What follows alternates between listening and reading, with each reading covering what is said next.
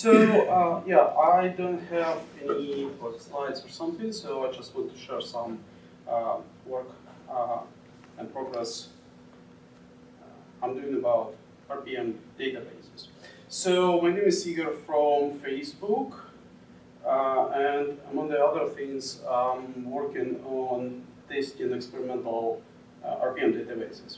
So short background, uh, what, what's basically the problem? Uh, you know, like a sentence on how use uh, RPM under the hood, like DNF and uh, YUM just sort of wrappers around RPM.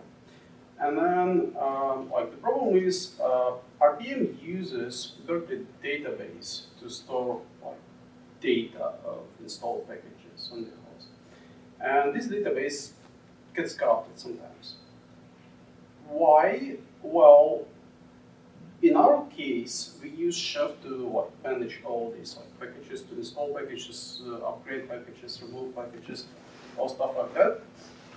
So, but we have some like restrictions and uh, like uh, the time how long uh, chef run should take, and because of these restrictions, what we uh, like should do, we, we just like need to restrict how long each like operation uh, takes. So, and in case if this operation times out, what Chef does, it just kills the process. And um, it's one of the problems. Another one is PerfectDB itself. So uh, it basically maps the like, pages into memory. And if you have several running processes at the same time, so for example, user can just like do RPM QA and well, you can get database corrupted. So what we do now is, especially like, usually it's like very short operation and usually it's happening, but if you have host really loaded, especially if uh, disk I/O is too high on this host, this operation takes long time and basically like the chance of like getting this database corrupted like, getting higher. So what we do now, uh, we have a special tool, DCRPM, so it's open source, it's, in, it's on the GitHub, so you can download it. So what it does, uh, it just checks the database, and if it's corrupted, it tries to repair it. So it basically uh, builds indexes, uh, builds uh, the database itself, and things like that. Um, what we are trying to do here is we want to try to change the backend from BerkeleyDB to something else. There are two experimental backends uh, supported by RPM since uh, 4.14, as far as I remember. So one is NDB and another one is LMDB. Uh, how we use, like how we tested that these two um, databases fine. So first of all, we tried to do some uh, like stress tests. Uh, what we tried to do is just uh, run RPM in infinite loop and like randomly kill it. Uh, I did this like many times and uh, I restricted uh, using C groups. I restricted the speed of the like disk for this process to like make sure that like workload is sort of the same as like on a program machine. So I managed to reproduce this many times for BerkeleyDB, but for NDB and the LMDB, I never got this database corrupted, which is good. And the next method we use right now, so uh, I've like I changed the database format on a thousand of machines in our fleet. And uh, I use several metrics to make sure that everything working fine. So one metric is how many machines have database broken. Since uh, RPM doesn't fix RPM, well, I mean RPM DB on these machines because it's only for BerkeleyDB, um, I can see, all right, I have number of hosts with broken database.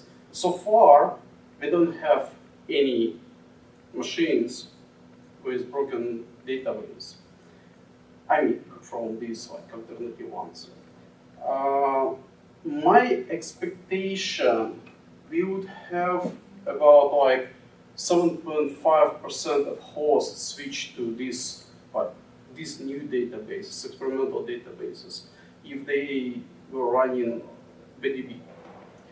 And um, yeah, the second metric I use is read timeout. So uh, as I said, like we use Chef to manipulate with the database, and I mean RPM.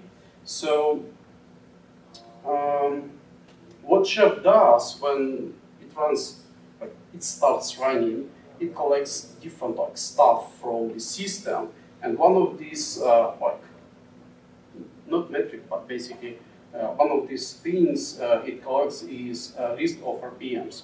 So what happens is uh, if the RPM QA, it basically runs RPM QA under the hood, and if it times out, then it basically fails.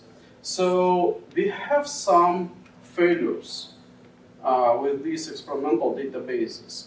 Usually it's because of, not usually, always, it's because of uh, how loaded machine and not like because of the database is broken. So this problem is not gone, but the main like idea is we want to get rid of database corruptions.